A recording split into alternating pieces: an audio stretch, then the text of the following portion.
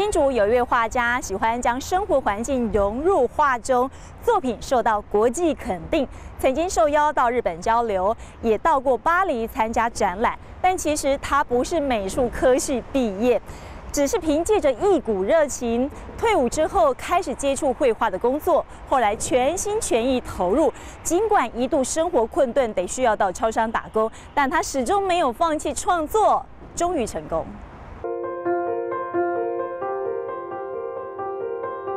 走进大门，精巧的庭院映入眼帘。看似平常的眷村建筑，隐藏的是画家张立业的工作室。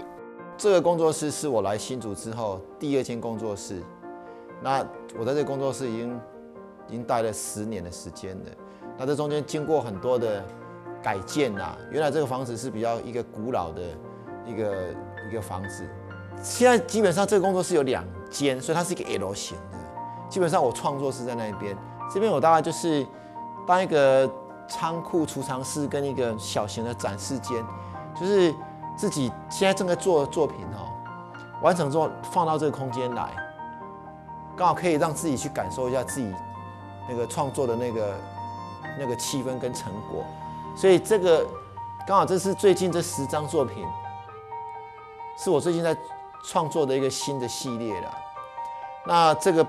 展览的呃，这个作品的标题，嗯，我还没有确定啊。不过我原来想的是小宇宙，啊，小宇宙意思就是说，这个世界外在有个大宇宙，啊，可是我们内在有一个宇宙，这是一个比较小的宇宙。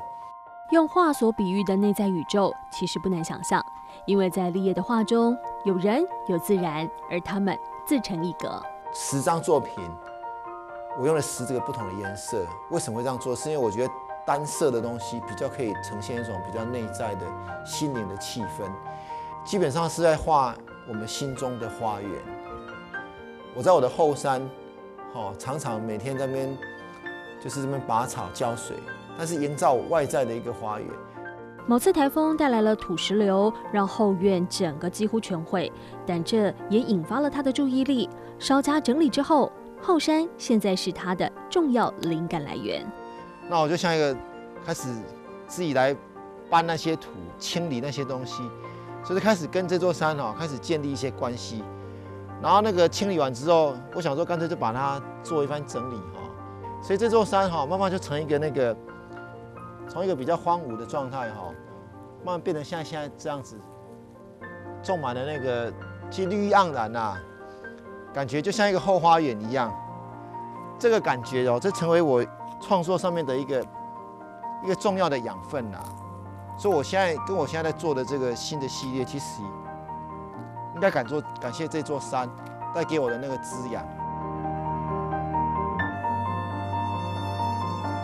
将生活环境融入画中，一直是他的创作灵感来源。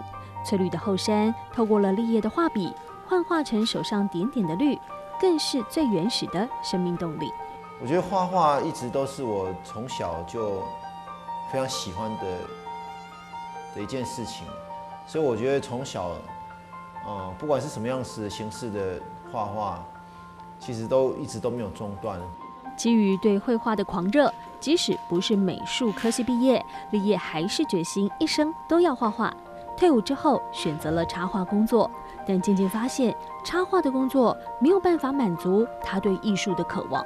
结婚两年之后，哦，那是那年我三十七岁，我突然有个很强烈的心里头一个很强烈的呼声，就是说，我想要呃全心全意的成为一个更专职的艺术家，然后为自己想做的事情啊做更更全面的那种就是努力。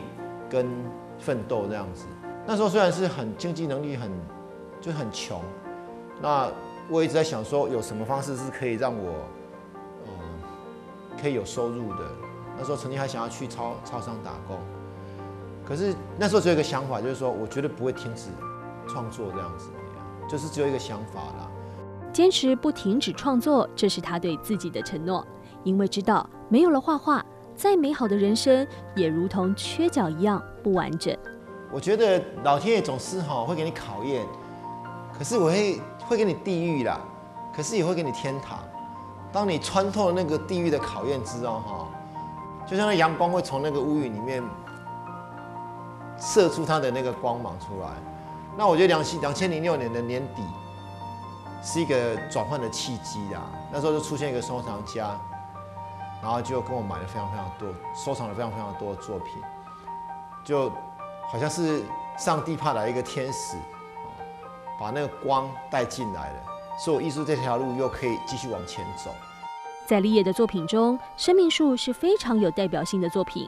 闪闪发亮的金色光芒，看似灿烂美好，却来自生命里最艰困的时刻。其实那段岁月是我的人生的一个非常非常低潮的时候，在整个呃，包括情感啦，包括生活，都都产生一个很困顿的状态这样子。在那，我记得两千年的冬天那一年，突然有一个晚上，我决定要画一棵发光的树。我觉得那棵树是，也许是我的生命树吧。然后那个发光的树，从两千年之后，在我生命的不同的状况的不同的阶段里面，我会去画它。尤其在二零零九年，就我当了父亲之后，我觉得那个人韧性被拉大的。在你很疲倦的时候，你是要给他微笑啊，哦，你还是要给他爱啊，给他回应啊。那我觉得那个对我来讲是一个，也是一个考验，也是一个学习。我觉得这个这个当父亲的过程，我觉得那个黄金树那种发光的能量又回到我的身上来了。连我自己在画的时候，我都觉得那个画对我来讲是非常的，就是在温暖我的。正因为痛苦的坚持，才能历练出最精彩的作品。而作品跟画家之间流动的生命能量，不止在画里，也包括许多小物，像是这个收音机。